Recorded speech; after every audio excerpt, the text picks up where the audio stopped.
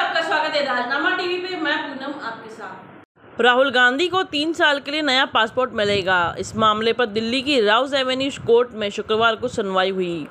Court ने कांग्रेस नेता राहुल गांधी की नया पासपोर्ट जारी करने की याचिका मंजूर कर ली है, लेकिन कहा है कि कोर्ट ना, नो ऑब्जेक्शन सर्टिफिकेट केवल तीन साल के लिए वैध है।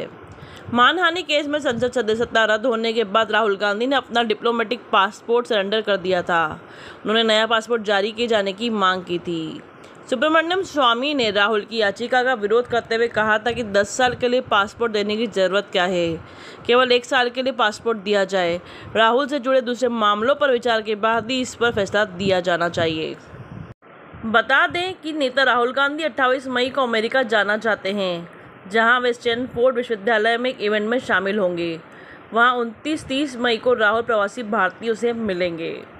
तेरह अप्रैल 2019 में लोकसभा चुनाव से पहले कर्नाटक के कोलार में एक रैली के दौरान राहुल गांधी ने कहा था, चोरों का सरनेम मोदी है। सभी चोरों का सरनेम मोदी क्यों होता है?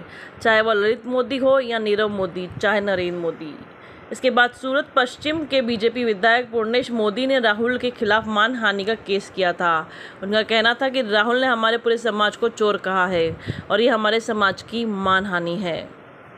इसी के साथ बने रहे राजनामा टीवी के साथ। धन्यवाद।